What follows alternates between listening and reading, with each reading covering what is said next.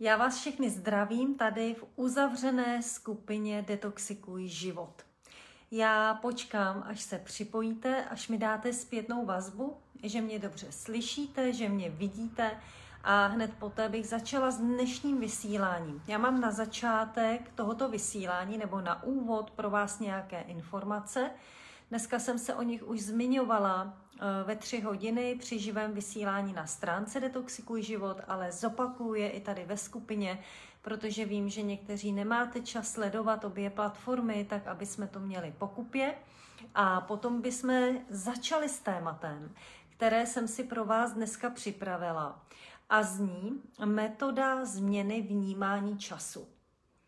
Eh, je to metoda, která eh, je velmi důležitá, pokud chcete, aby vám zákon přitažlivosti fungoval na té vědomé úrovni, pokud chcete tvořit ve svém životě to, co tam chcete mít a nechcete být oběťmi, nechcete nevědomně přijímat to, co vám někdo naservíruje z vnějšku. Takže na ten úvod ty tři z mého pohledu důležité informace, ještě než začneme s dnešním tématem. Ta první informace je, že pro vás všechny, eh, kteří jste si objednali eh, knížku zdarma, tak mám informaci, že všechny knížky byly odeslány. To znamená, pokud nedostanete svou knížku do středy příštího týdne tady v Čechách a zhruba do jednoho týdne v zahraničí, tak mi prosím napište váš, napište na můj e-mail, že nemáte knížku a napište tam adresu, ať to můžeme nějakým způsobem zkontrolovat, nebo eventuálně ji poslat znova. Jinak bych chtěla říct, že eh, v této zásilce vám přijde knížka Detoxikuj život a knížka Jsi značka vám přijde potom v samostatné zásilce. Tak jenom, abyste to věděli a nebyli jste překvapeni, že když otevřete obálku, že tam bude jenom knížka Detoxikuj život. Takže na to bych chtěla upozornit. Druhá věc je online summit osobního rozvoje. Je to největší mezinárodní online summit osobního rozvoje, na kterým přednáší světoví řečníci. Jo, je tam eh, Louis Hay, je tam Dalai Lama, je tam Braden, eh, jsou tam další a další význačná jména. A myslím si, že za A je pro mě ctí, že mě na tento summit přizvali jako řečníka, takže tam najdete i moji přednášku. A za B, že to pro vás může být neskutečným obohacením. Ten online summit je zcela zdarma. Stačí se zaregistrovat na linku, který vám přidám k záznamu tohoto vysílání tady ve skupině. A 6. října se summit spouští a vy budete moct každý den si naposlouchat zdarma přednášky řečníků, kteří pro ten den budou určení. Takže to jsem vám ještě chtěla říct jako informaci číslo dvě. A potom mám pro vás ještě teda informaci číslo tři. A to je, že už v příštím týdnu bude hotový eh, plán. Plán živých vysílání na celý další měsíc. Víte, eh, já když jsem vás vyzvala tady ve skupině Detoxikuj život, abyste mi psali témata pro vysílání, tak jsem nečekala takový ohlas. Já jsem jenom tady ve skupině a na stránce Detoxikuj život dala dokupy přes 100 témat. 100 témat na živá vysílání.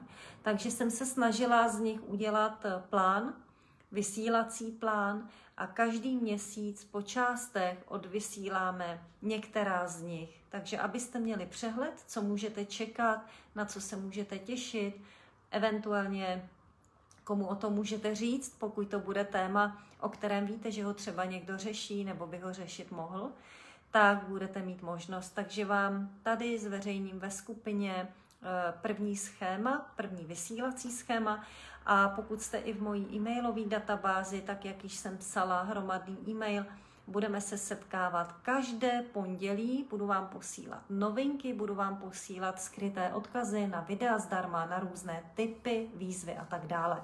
Pokud v mojí e-mailové databázi nejste a pokud tam chcete být, tak si najďte po skončení tohoto vysílání nebo klidně při něm na web eh, www.barboraenglishová.cz A na mém webu najdete v záložce nahoře zdarma a když na to kliknete, tak tam máte různé metody zdarma. A pokud si jakoukoliv z těch metod stáhnete a zadáte svůj e-mail, tak se ocitnete v mojí e-mailové databázi a já s vámi budu počítat při pondělní rozesílce e-mailů, který bude opravdu plný novinek a plný všeho, co se začne tady eh, v projektu Detoxikuj život odehrávat. Pokud v mailové databázi být nechcete, tak to plně respektuju a sledujte teda skupinu, tady facebookovou skupinu Detoxikuj život a určitě to hlavní eh, v ní najdete. Takže není to o tom, že pokud nebudete mít mail, nic se nedozvíte, je to pouze o tom, že kdo je v mojí mailové databázi, zkrátka dostává různé eh, věci, na které vlastně není ve skupině a na stránce čas. Jo? Je to různá moje tvorba, dostáváte PDF soubory zdarma, můžete si poslechnout videa, která jsou na skrytých odkazech, protože jsem je třeba nahrávala pro různé online platformy a můžu je distribuovat pouze na skrytých lincích, tak to stojí i v těch podmínkách. Takže pokud chcete víc obsahu a máte chuť se mnou trávit každé pondělí na své mailu, tak neváhejte a do té mailové databázy se prosím vás zaregistrujte. Dnešní téma je změna vnímání času. Víte, je to metoda, eh, o které se vlastně mluví. Dalo, chtěla jsem říct, že nemluví, ale ono se o ní mluví, ale většinou se o ní mluví tak, že buď to nikdo nepochopí, anebo to nikdo neumí praktikovat. Takže já se vám budu snažit prostě mými slovy, tak jak je u mě zvykem, přiblížit vám věc, která vás může vystřelit do toho procesu zhmotňování vašich přání a do toho procesu, kdy si vlastně stavíte ten svůj život vědomně a nečekáte na vnější vlivy anebo okolnosti. Eh, hodně z vás mi píše, že někdy, pokud začnete zákon přitažlivosti používat a snažit se ho vědomně užívat ve své realitě, tak se vám děje to, že jednou se vám zadaří, jednou se vám nezadaří, potom zkrátka jakoby eh, nemáte sílu tolik na to myslet, takže je to zase horší, pak je to zase lepší a pořád se to tak nějak střídá a není prostě ten výsledek konstantní. A také vám velmi často přijde, že to hrozně dlouho trvá. Že když opravdu něco chcete, tak to trvá mnohem déle, než když něco chcete méně a tak dále. Zkrátka máte pocit, že není to tak rychlý, jak byste si asi představovali a nevidíte dlouho výsledek a jdete po té cestě a snažíte se meditovat, snažíte se afirmovat, snažíte se dělat všechny doporučené postupy, a let, kdy ten výsledek je v nedohlednu. A pak upadáte do skepse a vlastně do stresu a máte pocit, že eh, tomu až tolik nevěříte, vynořují se různé pochybnosti, no a pak to zkrátka nefunguje vůbec. To je jasný. A já jsem se rozhodla vám ještě jednou vysvětlit tuto velmi specifickou část na té vaší cestě. Poněvadž ve chvíli, kdy vy začnete vědomně vytvářet ten svůj život, a začnete zkrátka mm, naplňovat ten váš záměr a začnete dělat to, co tomu předchází, to znamená, vybíráte si prospěšné myšlenky, snažíte si vizualizovat ten proces, snažíte se dostat se do toho pocitu, jaké to bude, až to budete mít a tak dále, tak eh, je nutný si zvědomit tuto velmi důležitou část. Prosím vás, já bych to mohla říct v pěti větách, ale řeknu vám to tak, aby jsme si to co nejvíc objasnili. To, že to nevidíte, prosím vás ještě jednou, to, že to nevidíte, neznamená, že to neexistuje a že už to nemáte. To je gro toho všeho, toho velkého sdělení. Protože my, když něco v našem životě nevidíme, například si vizualizujeme úžasný vztah, nebo skvělou práci, která nás bude bavit. A my hníjeme třeba v práci, která nás nebaví a žádný vztah nemáme, tak a děláme, co děláme, tak my furt se soustředíme na to, že to nemáme. A když to nepřichází ani po té, co se o to snažíme, tak opravdu velmi často to vzdáváme. Vzdáváme to energeticky. a pak se to oddaluje od toho, abychom to viděli. A ono jde o to, abyste pochopili tu zásadní věc. To, že to nevidíte, to, že to tu ještě jakoby v té vaší realitě není, neznamená, prosím vás, že to neexistuje.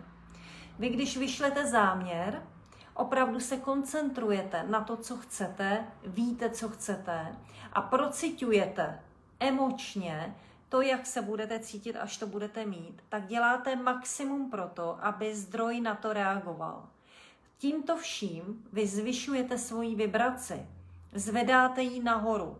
Vaše energetické pole reaguje a vlastně se jakoby pomalinku přizpůsobuje tomu, co chcete mít. A zdroj to velmi rychle vytvoří. Vibračně, velmi rychle. To znamená, chci práci svých snů, tak ta práce je připravená. Zdroj už ví, jaká práce by vám měla přijít do cesty.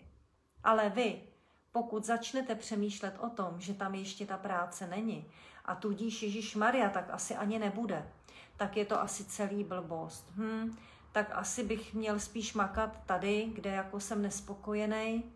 Hm, takže se to nestane. No, takže to nemá cenu. A teď pokud tady v tom jedete a roztočíte tento kolotoč těchto negativních myšlenek, tak to jde celý do háje.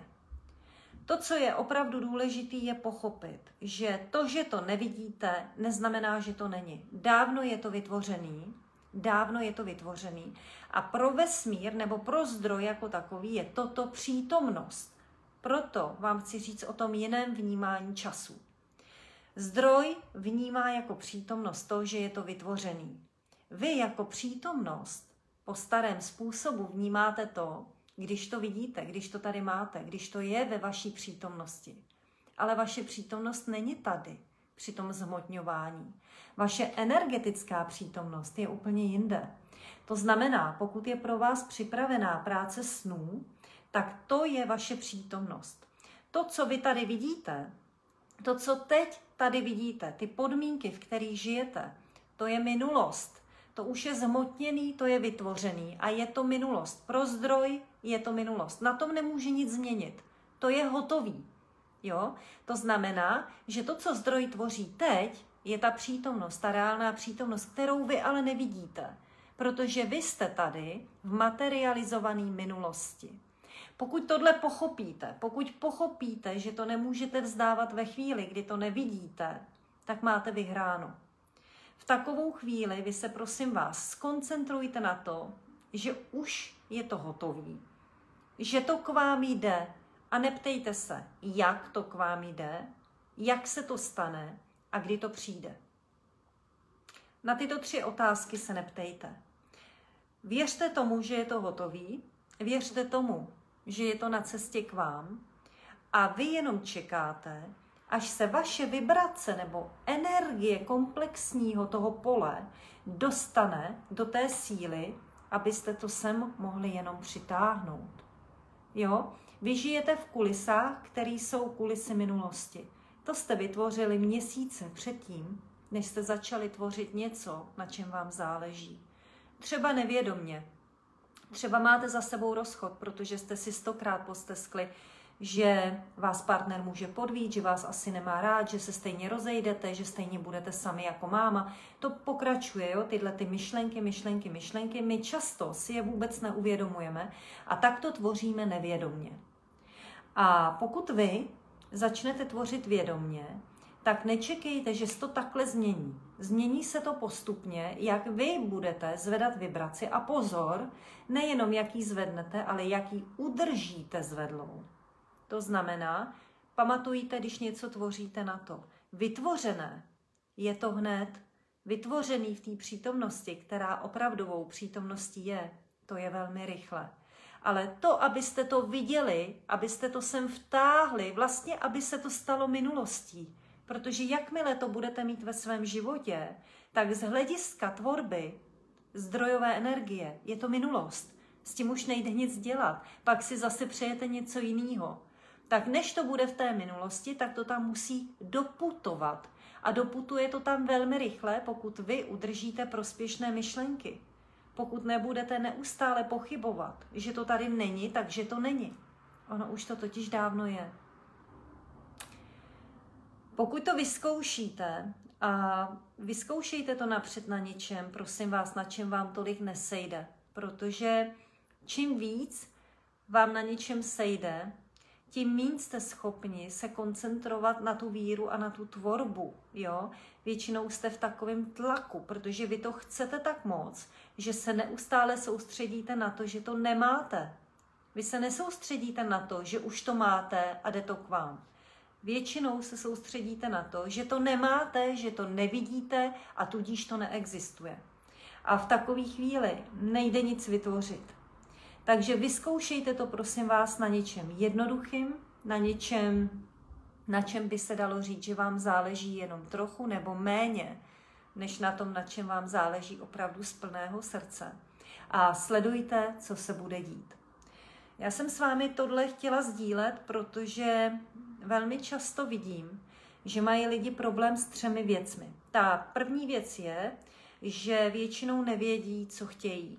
My víme přesně, co nechceme. My nechceme komplikovaný vztah, my nechceme být sami, my nechceme být chudí, ale když máme říct, co opravdu chceme a proč to chceme, protože tak vzniká záměr, tak máme problém.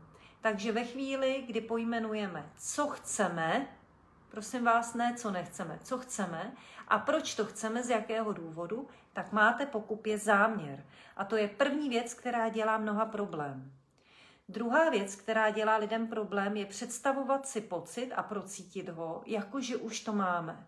A třetí věc, která je velmi problematická eh, z toho řetězu těch následných kroků, které vlastně eh, vedou k tomu naplnění toho, co vy si přejete, je právě to, že my nechápeme, anebo nechceme vůbec přijmout, že to, že to nevidíme, neznamená, že už to není hotový.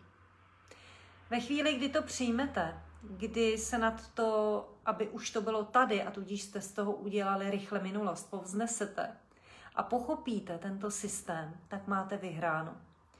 Já vám tady ve skupině už za pár dní začnu eh, vysílat postupně jednotlivé kroky od začátku tvorby až k jejímu konci. Budu vám vyprávět konkrétní příběhy, které se staly mně. Budu s vámi sdílet i příběhy lidí, kteří mě o to požádali. Budu s vámi sdílet mnohem víc těch konkrétností, protože mi často píšete, že by vám to pomohlo na té vaší cestě. A já teda věřím, že to pro vás bude přínosné a prospěšné. Já bych vás chtěla poprosit ještě, pokud znáte eh, lidi, kteří mě sledují na Detoxikuj život na stránce, eh, povzbuďte k tomu, ať přijdou k nám tady do skupiny. Já teď budu mnohem víc vysílat tady v uzavřeném prostoru, protože si myslím, že tady můžete i lépe do těch komentářů sdílet ty vaše věci, pohnutky, pochybnosti, starosti, než na otevřené platformě, kde přece jenom to může někdo vidět a ne každému je to příjemný. Takže já jsem se rozhodla, že tyto niternější věci a videa, která k ním inklinují, budu vysílat tady ve skupině. A potom jsem vás ještě chtěla poprosit, eh, jestli byste byli tak moc hodní a napsali mi pod toto video, teď pod toto vysílání nebo potom pod záznam, co přesně, co přesně v tom procesu toho vědomého tvoření drhne vám. Napište mi klidně specifické věci, konkrétnost, maličkost, například eh, neudržím myšlenku, nebo neustále mě to stahuje sem a sem, nebo eh, mám problém to udržet déle jak dvě hodiny. Napište mi prosím vás, cokoliv, co vás napadá, co vám nejde, a já se pokusím na to opravdu co nejpodrobněji v těch videích reagovat. Já bych vás chtěla povzbudit. Povzbudit na té vaší cestě. Protože, jak zjišťuju, tak mnoho lidí ví kor v té době, která teď je, že něco není v pořádku. Mnoho lidí cítí, že se potřebuje vrátit sama k sobě, ale zkrátka na to škola nebyla. To nás nikdo neučil. A já udělám maximum pro to, abyste tu cestu k sobě, k vlastní intuici, která je nejlepším rádcem ve vesmíru, zkrátka našli. 8.10., to už asi víte, jsem pozvaná do Dušeka k Járovi Duškovi, kde budu o těchto věcech mluvit velmi podrobně, zhruba dvě a půl hodiny v divadle Kampa. Takže pokud ještě nemáte link, kde bude probíhat přímý přenos, já vám ho sem znovu nazdílím k záznamu tohoto videa. Budu i ráda, pokud do divadla přijdete a budu i ráda, pokud se potom podíváte ze záznamu na YouTube. Jenom bych vás chtěla upozornit, kdo se 8.10. v půl osmé večer nemůžete dívat, že divadlo Kampa, ty záznamy těch vysílání, dává na YouTube zhruba po třech dnech. To znamená, já tam budu v pátek a zhruba v pondělí byste to na YouTube měli najít. To je pro ty z vás, kteří třeba musíte být v práci nebo někam jedete nebo máte jiný program a chtěli byste ten obsah vidět. Já vám moc děkuju, že jste na dnešní živé vysílání, které jsem avizovala pouze hodinku dopředu, přišli. Mám z toho velkou radost, budu moc ráda, když mi napíšete vaše názory do komentářů a napíšete mi taky, co byste chtěli vědět, co by vás zajímalo, co chcete slyšet a jaký máte názor na to, že začneme sdílet i konkrétní příběhy. Mějte se krásně, mějte hezký večer, mějte hezkou neděli a budu se na vás zase moc těšit příští týden. Ahoj.